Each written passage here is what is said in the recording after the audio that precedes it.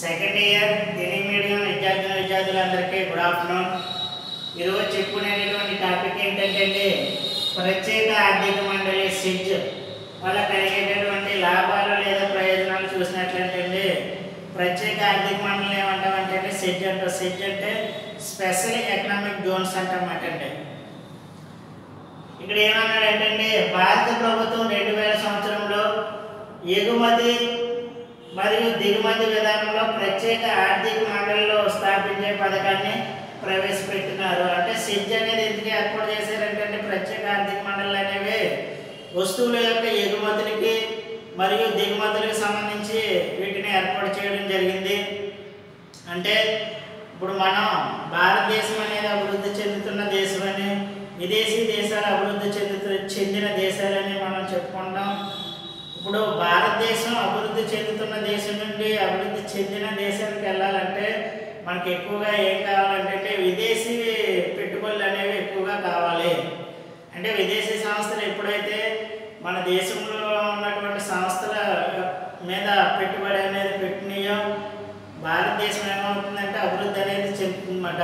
అంటే ఇక్కడ ఉన్నటువంటి ఉద్యోగస్తులకి ఏం చేస్తారంటే ఎక్కువగా ఉద్యోగ అవకాశాలు అనేవి కల్పించడం జరుగుతుంది అనమాట అంటే ఇక్కడ ఏంటంటే విదేశీ దేశాలు వచ్చి మన భారతదేశంలో ఏం చేస్తాయంటే సంస్థలు అనేవి ఏర్పాటు చేసి వాటిని అభివృద్ధి అనేది చేయడం జరుగుతాయి. అన్నమాట ఏ విధంగా అభివృద్ధి చేస్తాయంటే విదేశీ దేశాల్లో ఉన్నటువంటి పెట్టుబడులు స్వదేశీ దేశంలో ఉన్నటువంటి సంస్థలపై పెట్టుబడి అనేది పెట్టి వీటిని అభివృద్ధి అనేది చేయడం అన్నమాట చేస్తారన్నమాట ఇక్కడ సంబంధిత చట్టాన్ని రెండు వేల ఐదు సంవత్సరం మే నెలలో పార్లమెంటులో ఆమోదించినారు. అంటే ఈ ప్రత్యేక ఆర్థిక మండలి చట్టం అనేది ఎప్పుడు ప్రవేశపెట్టారంటే రెండు వేల ఐదు సంవత్సరంలో ప్రవేశపెట్టడం జరిగింది.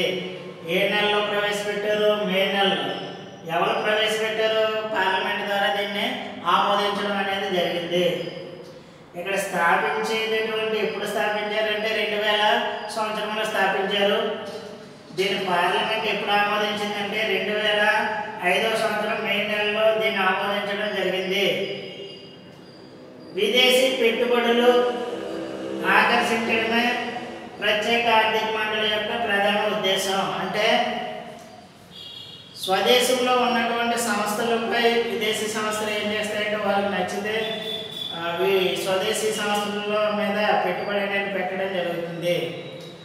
విదేశీ సంస్థలు ఎప్పుడైతే మన స్వదేశీ దేశంలో సంస్థలు అనేవి ప్రారంభించాయో వీటిని అభివృద్ధి చేస్తే ఈ స్వదేశీ దేశానికి లాభమే కాబట్టి వీటిని ఏం చేస్తారంటే వీటిని అభివృద్ధి చేసి గ్రామీణ ప్రాంతాల్లో ఉన్నటువంటి ప్రజలకు ఏం చేస్తారంటే ఉద్యోగ అవకాశాలు అనేవి ఎక్కువగా కల్పిస్తారు. దీనివల్ల మనకి నిరుద్యోగ సమస్య అనేది ఎక్కువగా తగ్గు తగ్గుతుందన్నమాట. తర్వాత ఎగుమతి ప్రక్రియ యొక్క అనుభవం నుంచి అంటే ఇక్కడ మన స్వదేశీ దేశం ఎప్పుడు ఎప్పుడు అభివృద్ధి అనేది చెందుతుందంటే విదేశాల నుంచి ఏం చేయాలంటే వస్తువులు అనేవి ఎక్కువగా స్వదేశానికి దిగుమతి అనేవి చేసుకోవాలి? దిగుమతులు అనేవి తక్కువగా చేయాలి? అంటే విదేశాల్లో ఉన్నటువంటి కరెన్సీ అనేది స్వదేశంలో వచ్చే విధంగా చూసుకోవాలన్నమాట. ఈ విధంగా ఏం చేయాలంటే ఎగుమతులకే ఎక్కువ ప్రాధాన్యత ఇవ్వాలి దిగుమతులకి తక్కువ ప్రాధాన్యత అనేది ఇవ్వడం జరుగుతుందన్నమాట. సెజ్ విధానం ఆవిర్భవించి పన్నులు లేదా సుంకాలు చెల్లించవలసిన అవసరం లేని ప్రాంగణంలో సెజ్జులు అంటే ఈ సంస్థలు స్వదేశీ దేశంలో ఏర్పాటు చేసుకుంటాం కాబట్టి ఈ సంస్థలకి వచ్చేటటువంటి విదేశీ దేశాల ఎగుమతులకి సంబంధించేటువంటి పన్ను చెల్లించవలసిన అవసరం లేనటువంటి వాటిని ఏమంటామంటే మనం సెజ్జులు అంటాం. ఈ సెజ్జుల వల్ల మనకి కొన్ని లాభాలు లేదా ప్రయోజనాలు అనేవి ఉన్నాయి అవి ఏంటన్నది మనం వన్ బై వన్ చెప్పుకోవడం జరుగుతుంది.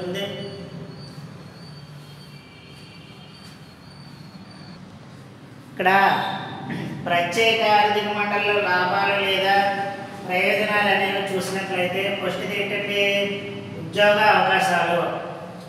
అంటే ఉద్యోగ అవకాశాలు అంటే ఏంటంటే ఉపాధి అనేది కల్పించడం. అంటే విదేశీ సంస్థలు స్వదేశీ సంస్థలను దేశంలో ఏర్పాటు చేయడం వల్ల ఇక్కడ ఉన్నటువంటి నిరుద్యోగులకి ఏం చేస్తాయంటే ఆ సంస్థల్లో వాళ్ళకి ఉద్యోగ అవకాశాలు అనేవి కల్పించబడడం జరుగుతుంది. అంటే ఈ విధంగా ఉద్యోగ అవకాశాలు అనేవి ఎప్పుడైతే పెరిగినాయో నిరుద్యోగిత అనేది నిర్మూలించడానికి అవకాశం అనేది ఉంటుందన్నమాట. అంటే నిరుద్యోగులకు ఉద్యోగ అవకాశాలు అనేవి కల్పించడంలో లేదు. ప్రత్యేక ఆర్థిక మండల సెంచరీ ఏం చేస్తాయంటే ప్రముఖ పాత్ర అనేది పోషిస్తాయని చెప్పవచ్చు. అదేవిధంగా ఆర్థిక అభివృద్ధి. ఇక్కడ మనకి ఆర్థిక వృద్ధి ఆర్థిక అభివృద్ధి అని రెండు ఉంటాయండి. ఆర్థిక వృద్ధి అంటే అభివృద్ధి చెందుతున్న దేశానికి సంబంధించింది. ఆర్థిక అభివృద్ధి అంటే అభివృద్ధి చెందుతున్న దేశాలకు సంబంధించింది ఇక్కడ మనకి ఇక్కడ ఏమన్నాడంటే షెడ్యూళ్ళను ఆర్థిక అభివృద్ధి సాధనాలుగా గుర్తించడం జరిగింది. అంటే ఈ షెడ్యూల్ ఎక్కడైతే ఏర్పాటు చేస్తారో అక్కడ ఏంటంటే అభివృద్ధి అనేది చాలా ఎక్కువగా ఉండడం జరుగుతుందన్నమాట. అంటే ఇక్కడ ఏమన్నాడంటే షెడ్యూల్ సక్రమంగా నెలకొల్పబడితే అంటే ఈ సంస్థలు అనేవి ఎక్కడైతే ఏర్పాటు చేయడం జరుగుతుందో అక్కడ ఏం జరుగుతుందండి అభివృద్ధి అనేది జరుగుతుంది. ఈ సంస్థలు అనేవి భారతదేశంలో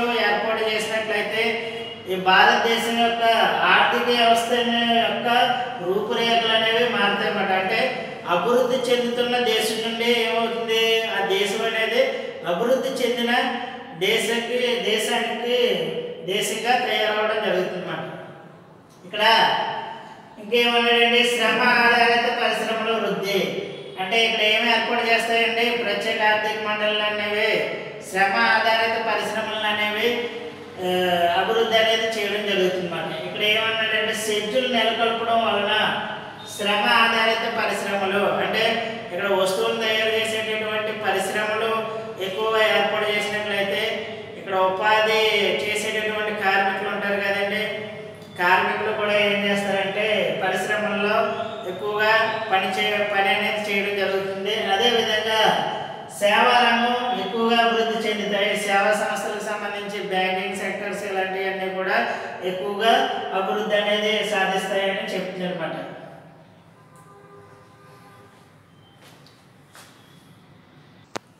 ఇక్కడ మనకి సమాన ప్రాంతీయ అభివృద్ధి అంటే సంస్థలు ఏర్పాటు చేసిన ప్రతి ప్రాంతంలోనూ అభివృద్ధి అనేది ఏ విధంగా ఉంటుందంటే అండి మనకు సమానంగా అంటే లోటుపాట్లు అనేవి ఏమీ లేకుండా అన్ని ప్రాంతాల్లో కూడా సమాన అభివృద్ధి అనేది సాధించడం జరుగుతుందండి.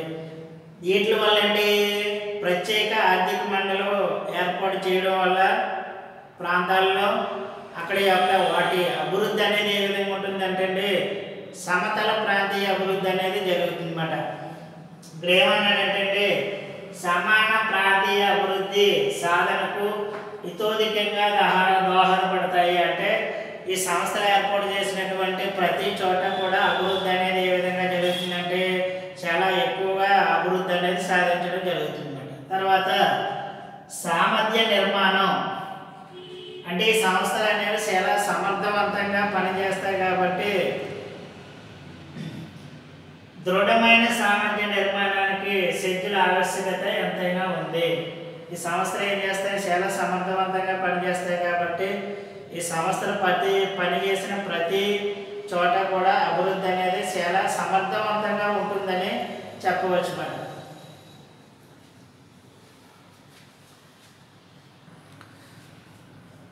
ఇక్కడ మనం చూసినట్లయితే ఏమన్నాడంటే ప్రత్యేక ఆర్థిక మండలి యొక్క లక్ష్యాలు లేదా ధ్యేయాలను తెలపమన్నాడు.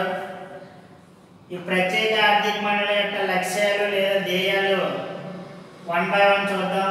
ఇక్కడ ఏమన్నాడంటే ప్రత్యేక చర్చల యొక్క ధ్యేయాలు లేదా లక్ష్యాలను ఇచ్చాడు. ఈ లక్ష్యాలు ఏంటో వన్ బై వన్ చూడడం చూడండి. ఫస్ట్ పాయింట్ ఏంటంటే ఆర్థిక అభివృద్ధికి ఆర్థిక కార్యకలాపాలను పెంపొందించడం. అంటే అభివృద్ధి సాధించాలంటే ముందు ఏం చేయాలండి ఆర్థిక కార్యకలాపాలు అనేవి చేయాలి. ఆర్థిక కార్యకలాపాలు అనేవి జరగాలంటే ఏం చేయాలి? సంస్థలు అనేవి ఏర్పాటు చేసిన తర్వాత వస్తువులు అనేవి తయారు చేసిన తర్వాత వాటి వస్తు సేవలు కొనుగోలు అమ్మకాలు అనేవి చేపట్టాలన్నమాట. అంటే సంస్థలు అనేవి సంస్థ యొక్క పరిమాణం బట్టి ఏం చిన్న సంస్థలకైతే ఆర్థిక కార్యకలాపాలు అనేవి తక్కువ జరుగుతాయి. పెద్ద సంస్థలు అయితే ఏం చేస్తామంటే ఆర్థిక కార్యకలాపాలు అనేవి చాలా ఎక్కువ సంఖ్యలో జరు జరుపుతాం కాబట్టి అక్కడ అభివృద్ధి అనేది ఏ విధంగా ఉంటుందంటే ఎక్కువగా ఉండడం జరుగుతుంది అనమాట అంటే ఎప్పుడైతే విదేశీ సంస్థలు స్వదేశీ దేశంలో స్థాపించబడ్డాయో ఇక్కడ ఆర్థిక కార్యకలాపాలు అనేవి ఏమవుతాయి అంటే పెరుగుతాయి.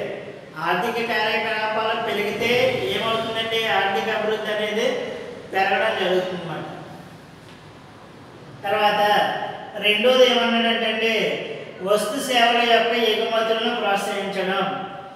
అంటే ఏ దేశమైనా ఇప్పుడు అభివృద్ధి చెందుతున్న దేశాలు ఏం చేస్తాయంటే అభివృద్ధి సాధించాలంటే ఎగుమతులు అనేవి చాలా ఎక్కువ సంఖ్యలో జరపాలన్నమాట. అంటే ఎగుమతులు అనేవి ఎక్కువ సంఖ్యలో జరపడం వల్ల విదేశాల్లో ఉన్నటువంటి కరెన్సీ అనేది మన యొక్క స్వదేశీ దేశంలో రావడం వల్ల ఇక్కడ అభివృద్ధి అనేది ఎక్కువగా సాధించడానికి అవకాశం ఉంటుంది. అందువల్ల ఏం చేయాలంటే ఎప్పుడూ కూడా ఇతర దేశాల నుంచి వస్తువులు దిగుమతి చేసుకోవడమే కాకుండా మన దేశంలో తయారైనటువంటి వస్తువు సేవలు ఏవైతే ఉన్నాయో వాటిని ఏం చేయాలంటే అండి వేరొక దేశానికి ఎగుమతి అనేది చేసుకోవాలి. ఎగుమతులు అనేవి ఎప్పుడైతే పెంచుకున్నామో దాని ద్వారా ఏంటంటే ఆర్థిక అభివృద్ధి అనేది ఎక్కువగా సాధించడానికి అవకాశాలు ఉంటాయన్నమాట. తర్వాత మూడో చూడండి.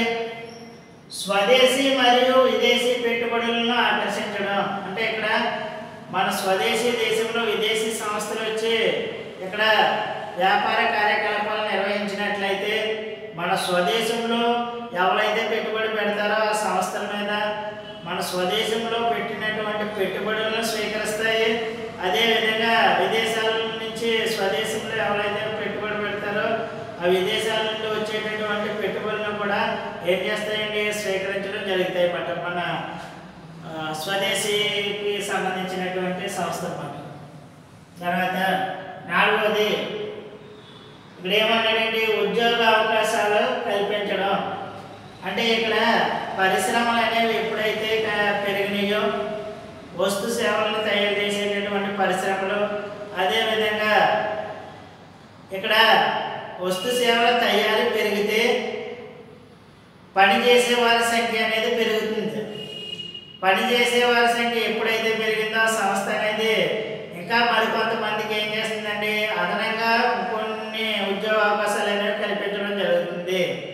ఈ విధంగా సంస్థలు అనేవి ఎక్కువగా ఎక్కడైతే స్థాపించబడతాయో అటువంటి చోట ఏంటంటే ఉద్యోగ అవకాశాలు అనేవి ఎక్కువగా కల్పించడానికి మనకి ఆస్కారం అనేది ఉంటుంది మనకు తర్వాత మౌలిక సదుపాయాలను అభివృద్ధి చేయడం మౌలిక సదుపాయాలు అంటే ఏంటంటే ఇక్కడ మనకి సంస్థనే పనిచేసే సంస్థలో పనిచేసేటటువంటి ఉద్యోగస్తులు తర్వాత కార్మికులు ఎవరైతే ఉన్నారో వాళ్ళకి ఏం చేయాలండి? ఎప్పటికప్పుడు పనిచేసిన వారికి జీతాలు వేతనాలతో పాటు వాళ్ళకి కొన్ని మౌలిక సదుపాయాలు అనేవి కల్పించాలి మౌలిక సదుపాయాలు అంటే ఏంటంటే వాళ్ళకి కొన్ని ఆరోగ్య సమస్యలు ఏమైనా ఉంటే ఆ సమస్యలు అనేవి పరిష్కరించాలి వాళ్ళకి ఏం చేయాలంటే బోనస్లు అనేవి ఇలాంటి మౌలిక సదుపాయాలు అనేవి కల్పించాలి. అదేవిధంగా ఆ సంస్థలు ఏర్పాటు చేసినటువంటి ప్రాంతాల్లో వెనుకబడిన ప్రాంతాలు అయితే ఏం చేయాలి? దానికి సంబంధించినటువంటి రోడ్డు సమస్యలు నీటి సమస్య విద్యుత్ సమస్య ఏవైతే ఉన్నాయో అవన్నీ కూడా పరిష్కరించవలసినటువంటి బాధ్యత ఎవరి మీద ఉంటుందంటే అండి ఈ సంస్థల మీద ఎక్కువగా ఆధారపడి ఉండడం జరుగుతాయి అన్నమాట ఇప్పుడు ఈ రోడ్లు ఇవన్నీ బాగుంటేనే కదా సంస్థ అనేది అభివృద్ధి చెందేది.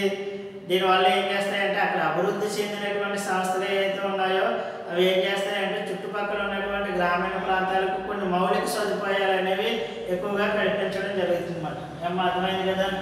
ఫస్ట్ ఏంటి?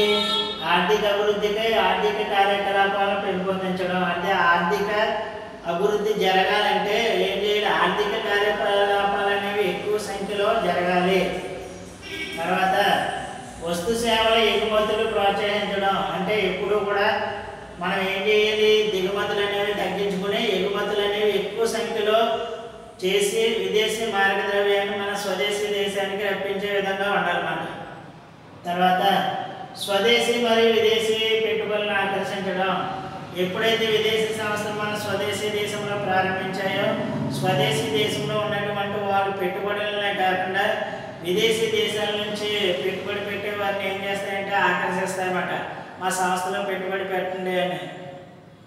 ఈ పెట్టుబడి పెట్టడం వల్ల వాళ్ళకి ఏమొస్తాయంటే కొన్ని లాభాలు అనేవి పొందడం తర్వాత ఉద్యోగ అవకాశాలు కల్పించడం అంటే ఏంటంటే సమాజంలో చాలా వెనుకబడిన వర్గాల వారు ఉంటారు కదండి.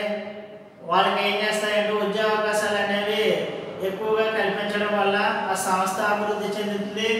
ఈ వీళ్ళకి నిరుద్యోగ సమస్య అనేది రెండు కూడా తీరుతాయన్నమాట తర్వాత మౌలిక సదుపాయాలను అభివృద్ధి చేయడం మౌలిక సదుపాయాలు అంటే చెప్పాం కదండి. వీళ్ళకి కార్మికులకి సకాలంలో జీతాలు అనేవి ఇవ్వాలి. అదేవిధంగా వాళ్ళకి సంబంధించి ఆరోగ్య సమస్యలు ఏమన్నా ఉంటే వాటికి సంబంధించి ఆ సమస్యలను పరిష్కరించాలి. అదేవిధంగా సంస్థ అభివృద్ధి చెందితే చుట్టుపక్కల ఉన్నటువంటి గ్రామీణ ప్రాంతాల్లో ఉన్నటువంటి సమస్యలు అనేవి పరిష్కరించి వాళ్ళకి కొన్ని మౌలిక సదుపాయాలు అనేవి కల్పించాలి.